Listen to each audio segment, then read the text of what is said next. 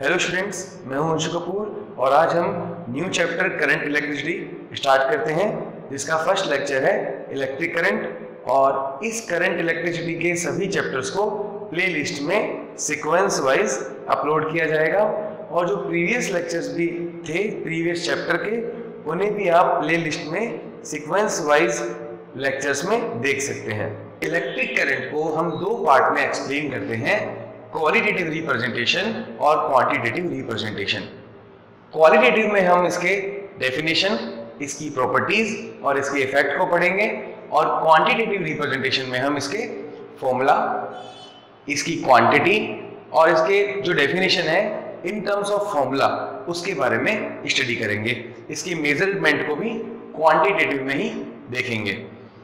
सबसे पहले qualitative representation of electric current electric current term में जो ये करंट है, इस करंट का मीनिंग होता है मूवमेंट जैसे हम वाटर के मूवमेंट को हम बोलते हैं वाटर करंट एयर के मूवमेंट को हम बोलते हैं एयर करंट सिमिलर वे में चार्जेस के मूवमेंट को या चार्जेस के फ्लो को हम बोलते हैं electric current flow of charges electric current the movement of charges in a conductor constitutes an electric current. Current carriers or charge carriers. The charged particles which constitute electric current known as current carrier or charge carriers. तो हमें पता है कि electric charge का जब flow होता है तो इलेक्ट्रिक करंट क्रिएट होती है अलग अलग सब्सटेंस में मटेरियल्स में ऐसे पार्टिकल होते हैं जो चार्ज को कैरी करते हैं उन्हें कहते हैं चार्ज कैरियर जब वो पार्टिकल उन पार्टिकल्स के पास नेगेटिव या पॉजिटिव चार्ज होता है, और वो पार्टिकल जब फ्लो होते हैं तो उनके पास जो चार्ज है, वो भी फ्लो होता है। तो ऐसे पार्टिकल जो चार्ज को कंटेन करते हैं कैरी करते हैं, उन्हें कहते हैं हम चार्ज कैरियर्स जैसे हम कंडक्टर की बात करें तो कंडक्टर में ऐसा पार्टिकल होता है इलेक्ट्रॉन इलेक्ट्रॉन के पास होता है नेगेटिव चार्ज तो इलेक्ट्रॉन किस चार्ज को कैरी करता है? इलेक्ट्रॉन नेगेटिव चार्ज को कैरी करता है। अलग अलग मटेरियल में, ये देखिए, जैसे कंडक्टर में जो चार्ज कैरियर होता है, वो इलेक्ट्रॉन होते हैं और वो नेगेटिव चार्ज को कैरी करते हैं। उसी तरह से सेमीकंडक्टर में इलेक्ट्रॉन और होल दोनों ऐसे पार्टिकल होते हैं जो नेगेटिव और पॉजिटिव चार्ज को कैरी करते हैं। तो सेमीकंडक्टर में जो इलेक्ट्रिक करंट है वो दोनों चार्जेस नेगेटिव और पॉजिटिव दोनों के कारण क्रिएट होती है, जबकि कंडक्टर में केवल नेगेटिव चार्ज के कारण करंट क्रिएट होती है। इसी तरह से इलेक्ट्रोलाइटिक सॉल्यूशन जो हम केमिस्ट्री में पढ़ते हैं, उसमें जो सॉल्यूशन होते हैं AgNO3 वो डिसोसिएट हो जाते हैं आयंस में, जैसे Ag प्लस NO3 माइनस तो यहाँ पर Ag प्लस और NO3 माइनस ऐसे दो तो पार्टिकल हैं जिनके पास पॉजिटिव और नेगेटिव चार्जेस हैं और ये जब फ्लो करेंगे तो इलेक्ट्रिक करंट प्रोड्यूस होगी। उसी तरह से NaCl में Na plus C L minus copper sulphate C U plus two S O four minus two ऐसे बहुत एग्ज़ाम्पल हैं।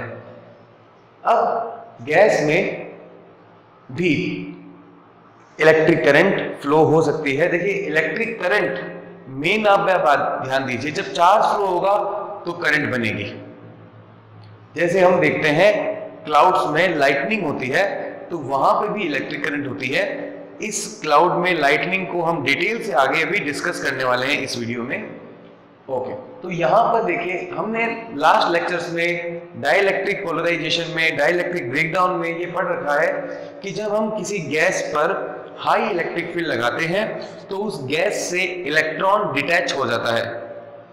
और उस वो जो गैस से इलेक्ट्रॉन निकलता है तो वो गैस बन जाती है पॉजिटिव आयन और इलेक्ट्रॉन तो इस बार जो गैस में पॉजिटिव आयन होंगे और इलेक्ट्रॉन होंगे, वो दोनों ही मूव करेंगे और दोनों की मूवमेंट से इलेक्ट्रिक करंट जनरेट होगी.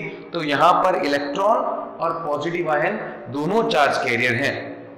A potential difference is required to continuous and study flow of charge This potential difference provided by battery और cell.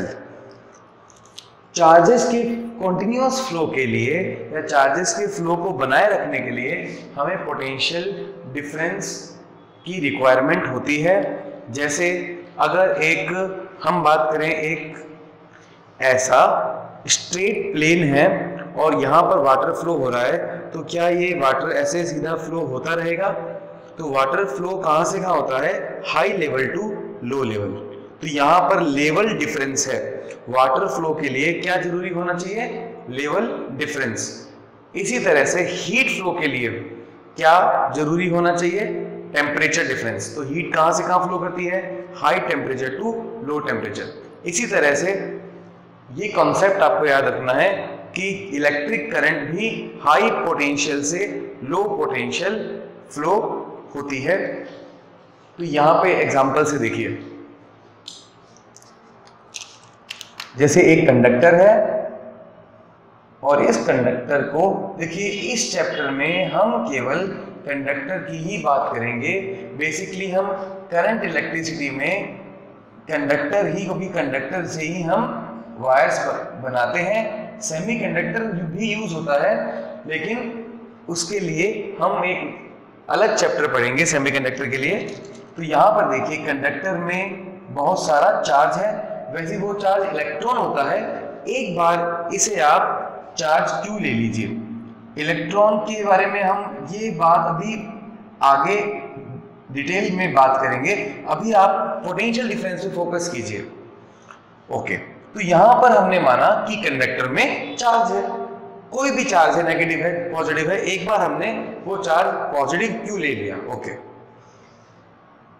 तो यहाँ पर बैटरी का पॉजिटिव यहाँ पर बैटरी का नेगेटिव ये बैटरी का पॉजिटिव यहाँ पर पॉजिटिव पोटेंशियल क्रिएट कर रहा है और ये नेगेटिव इस कंडक्टर के दूसरे एंड पर नेगेटिव पोटेंशियल क्रिएट कर रहा है। ये पॉजिटिव पोटेंशियल इस चार्ज को क्या कर रहा है? ऐसे रिपेल और ये नेगेटिव पोटेंशियल इस चार्ज को अट्रैक्ट कर रहा है। तो इसी कारण ये चार्ज क्या हो रहा है? फ्लो हो रहा है। ये देखिए, ऐसे। तो पॉजिटिव चार्ज इस तरह से फ्लो हो रहा है। तो ये पॉजिटिव चार्ज को पुश कर रहा है और ये पॉजिटिव चार्ज को पुल कर रहा है। तो बैटरी पॉजिटिव चार्ज को या चार्ज को पुल और पुश करती है, वो पोटेंशियल डिफरेंस प्रोवाइड करती है और जिसके कारण करंट फ्लो होती है। ओ सॉरी यहाँ पर मैंने विदाउट बैटरी लिखा, नहीं, ये विद बैटरी होगा। और यहाँ पर विद बैटरी लिखा, यहाँ पर मैं विदाउट बैटरी का एक्सप्लेन कर देता हूँ। ये देखिए।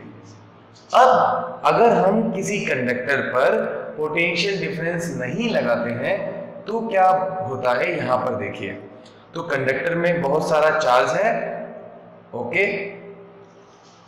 अब उस पर कोई फोर्स लगाने वाला नहीं है, उसको पुश और पुल करने वाला कोई नहीं है, बैटरी नहीं है पोटेंशियल डिफरेंस नहीं है तो क्या होगा? तब भी वो चार्ज मोशन करते हैं। लेकिन उनकी मोशन की डायरेक्शन रैंडम होती है। तो आप कहेंगे, सर, अगर ये मोशन कर रहे हैं तो इनके पास काइनेटिक एनर्जी होगी। हम्म? इनके पास काइनेटिक एनर्जी कहाँ से आई? कौन सी एनर्जी ने इनको kinetic energy the?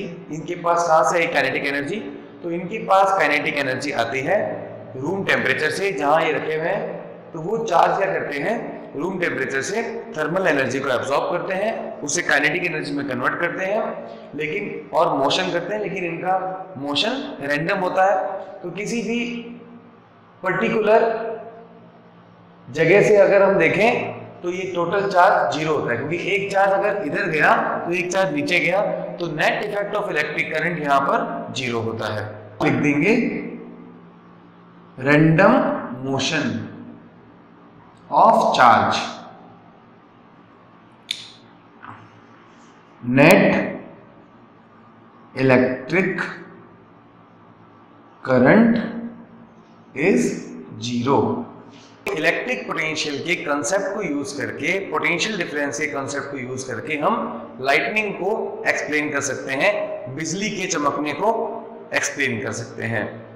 During lightning electric charge flow from cloud to cloud and cloud to atmosphere due to potential difference जब दो बादलों में, दो क्लाउड्स में पोटेंशियल डिफरेंस क्रिएट हो जाता है हाई पोटेंशियल लो पोटेंशियल पर हो जाते हैं तो यहाँ पर हाई पोटेंशियल यहाँ पर लो पोटेंशियल तो दोनों के बीच में पोटेंशियल डिफरेंस क्रिएट हो गया है।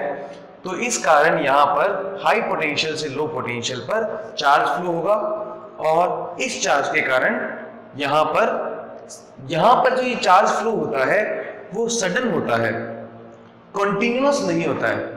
कॉन्टिन्यूस इसलिए नहीं होता है क्योंकि यहाँ पर ये बैटरी की तरह लगातार हाई पोटेंशियल लगातार लो पोटेंशियल को बनाए नहीं रखता है। जैसे चार्ज यहाँ से ट्रांसफ़र होने लग जाता है तो दोनों के पास पोटेंशियल सेम होने लग जाता है। तो ये जो चीज़ होती है, वो सडन होती है।